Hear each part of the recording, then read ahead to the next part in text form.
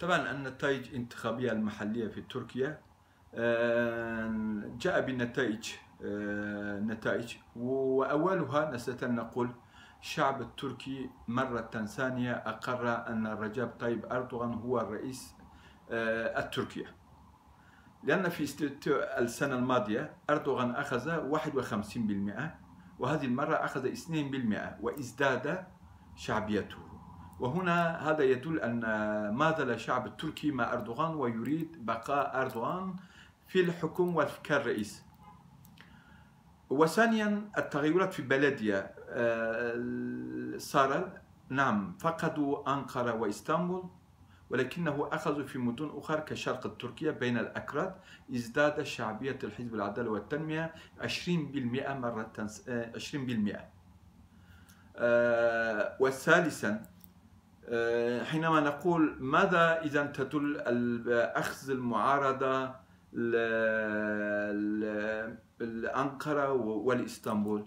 طبعا كما نعرف أن حزب العدالة والتنمية اجتمعت مع الحزب المهيبي وأخذوا هنا آه، دخلوا في انتخابات وأحزاب أخرى كلها حتى حزب السعادة من ضمنهم أيضا دخلوا في انتخابات في أنقرة آه، وهم أيضا اخذوا في التصويتات أكثر ودخلوا.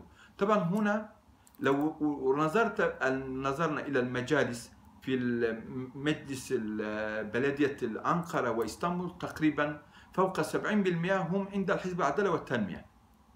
ولكن كالرئيس اختار الشعب من حزب المعارضة.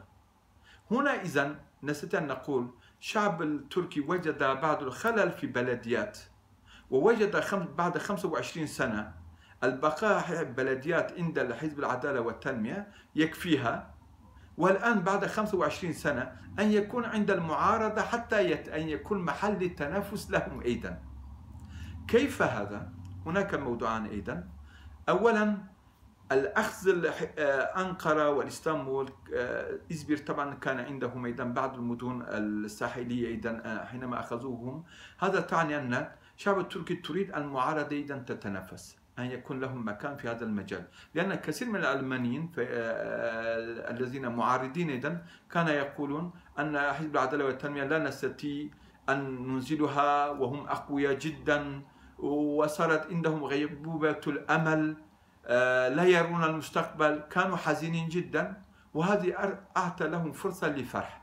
طبعا انظر في السياسة قبل سنة ما أعطى لهم الشعب التركي فرصة لهم ولكن في بلديات أعطوا لهم فرصة حتى يتنافسوا نعم أعطوا فرصة للتنفس ولكن وضعوا تحته المجلس أن يكون عدد الحزب العدالة والتنمية أكثر منهم حتى يكون تنافس بين حزبين في الداخل في بلديات وحتى يكون شفافية في بلديات. وهذا شيء جيد أيضا لو نظرنا من جانب آخر. وثانيا وجدنا كثير من رجال الأعمال من الألبانيين في إسطنبول وأنقرة كان يقولون ما عندنا مجال لنعمل ما كان هناك شيء. والآن بعد هذه الانتخابات وجدناهم أيضا الذين ذهبوا إلى الغرب بدأوا يتراجعون مرة ثانية يقولون لا الآن إذا بانتخابات نستطيع أن نفعل شيء لو عملنا بشكل جيد لو قدمنا للشعب شيء جميل. إذا نحتاج نفوز وأردوغان كان يفوز بانتخابات.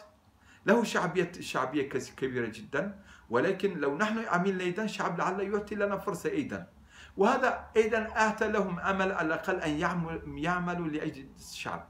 وطبعا لابد هنا نفكر شيئا. المعارضة غير لسانها أيضا. كان كل شيء ضد الدين وهذه المرة ما تكلم عن الدين لأن صاروا محافظين أيضا معهم كثير من المحافظين الذين كانوا من حزب العدالة حتى الناس الذين ساكتين أو غضبانين لحزب العدالة من حزب العدالة والتنمية صوتوا لهؤلاء أيضا وهذه أعطى طبعا لهم آه، قوة أن الحكم ولكن هذه المرة رجال أعمال من جانب اقتصادي أيضا هذا سيكون تفاعل كبير جدا وسيعطي فرصة كبيرة جدا للاقتصاد التركي وهناك وجدنا أخبار كثيرة جدا نزول آه، عملة تركيا ولكن لا هذا سيكون عملة تركيا سترتفع واقتصاد التركي سيكون فيها النجاح في الأيام القادمة شكرا جزيلا.